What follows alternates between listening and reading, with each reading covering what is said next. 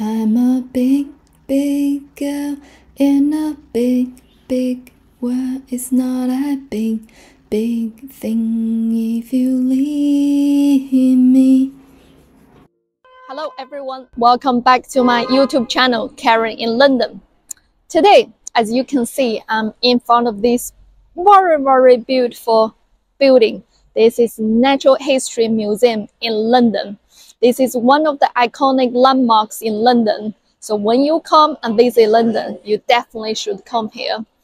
Well, I will have to say this is not only for tourists, for people like me who live in London, and we like to come and visit. Sometimes I bring my kids and they like to see the dinosaur inside and all the other cool stuff. Um, last year, my children's school, they did a school trip here so for London schools, this is also a very, very popular place to visit.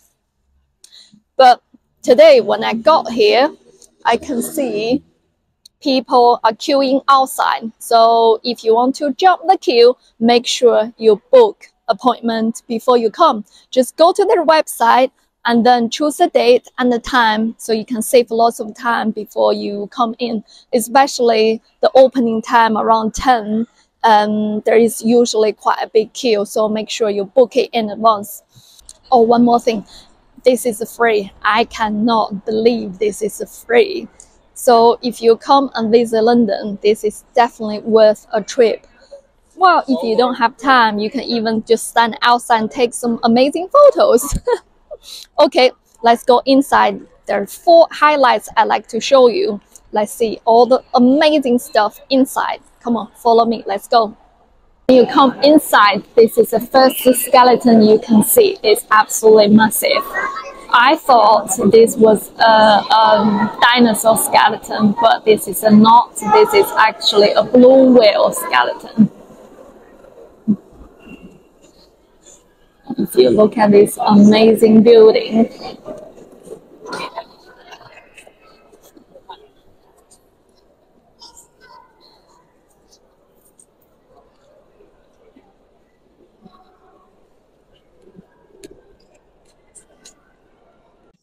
even though you're not too bothered about the skeleton, all of the stuff inside, just look at this amazing building. That definitely worth a trip.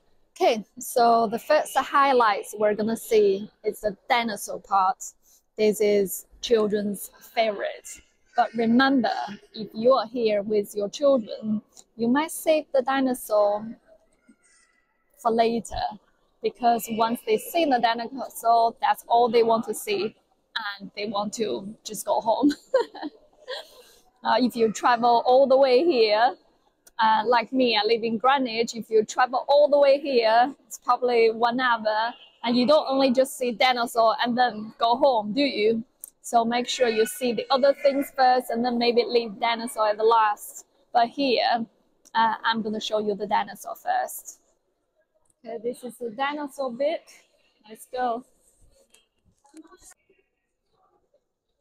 Okay, so there are four zones from Zulu, from blue, orange, uh, green, and red. Dinosaur is in the blue one. Let's go there first. Okay, here, so we're in this dinosaur gallery.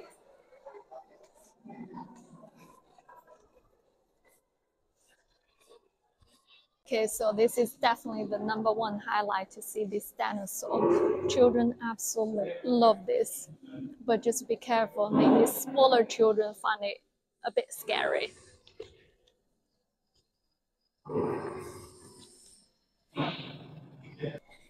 Well, if you ever get a chance to visit China in Beijing, my city where I'm from, we have a um, the same natural history museum and in that museum, there are loads and loads of dinosaurs, really proper scary. uh, I remember my older girl when I took her there, the, the, the museum in Beijing, and she was crying. So I'm gonna just show you um, a, a, small um, video about that dinosaur, about that museum.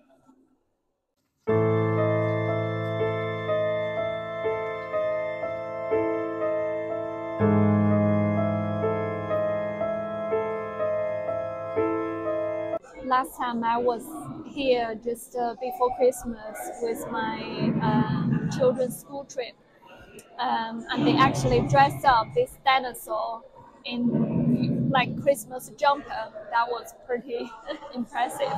I'll try to see if I can still find that photo. Yeah, now it's almost Easter. Next week it will be Easter, so I don't know if they're gonna do anything with this dinosaur. Maybe um, Easter bunny dress up like Easter bunny. I don't know. Not too sure if dinosaur will be happy to dress up like Easter bunny.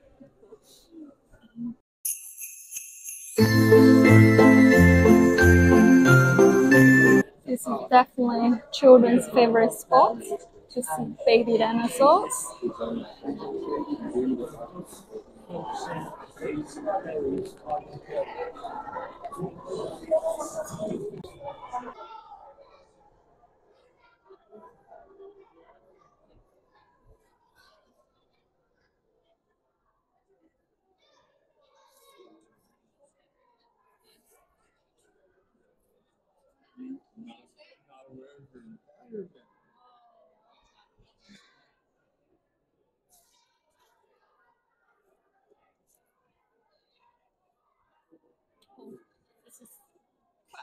Home.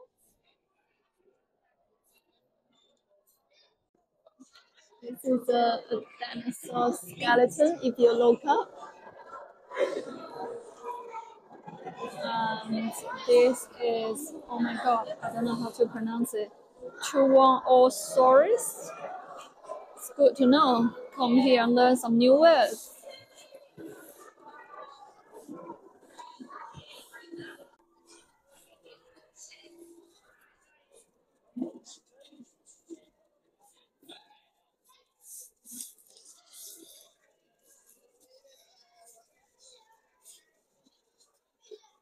This is uh, show how dinosaurs run. These baby dinosaurs. These two are also children's favorite because they look quite cute, don't they?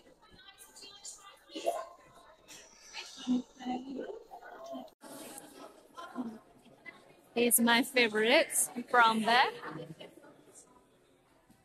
Okay, so this gallery for this massive whale is closed because they're doing some work. Okay, so this is one week before Easter. If you plan to come here before Easter, you better check their website to see this one is open or not to avoid disappointment if you want to see this big whale. But I don't think it will take too long. I just their staff inside, um, and he said probably one more, uh, one more week or, or two, eh, everything will be done. So always make sure you check the website. Okay, now here we're in this green zone. And first thing you can see this creepy crawlies. Hmm. I guess there are gonna be some spiders, stuff like that. I do not like spiders.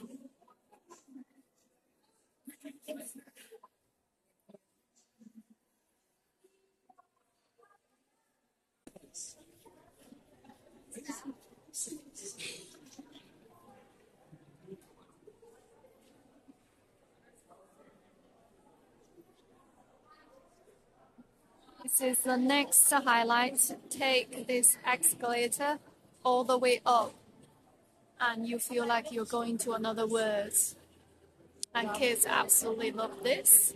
Now we're in the right zone, and if you are here, you can tell there's a little exhibition. It tells our Earth journey from a tiny little fireball to today's beautiful Earth. And if you have time, it's definitely worth um, having a little walk through this.